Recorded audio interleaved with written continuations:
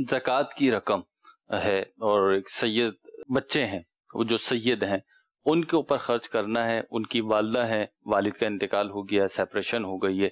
अब उनकी वालदा तो सैयद नहीं है और वो मुस्तक ज़क़़त हैं, लेकिन ये वालदा को ज़क़़त देते हैं तो वो खर्च तो बच्चों पे होगी, लामहाला तो इसकी इजाज़त होगी या नहीं होगी और इसकी हैसियत क्या होगी? हज़रत आयशा रदी अल्लाह तला की कनीज थी। प्यारे सलाम तशरीफ़ ले गए तो उन्होंने अर्ज़ किया या रसूल सल्लल्लाहु अलैहि वसल्लम मेरे पास सदके के इस गोश्त के सिवा कुछ नहीं है जो मैं आपको पेश करूँ।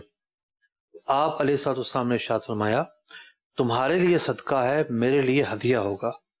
यानी उनको जो दिया गया वो सदका था। ठीक है। वो उनकी मिल्कियत में आ गया। सही। वो मालिक हो गई। सही। अब अगर वो किसी को देती हैं तो वो हदिया कहलाएगा। ठीक। वो अब जक़ात नहीं है सदका नहीं है। ठीक है।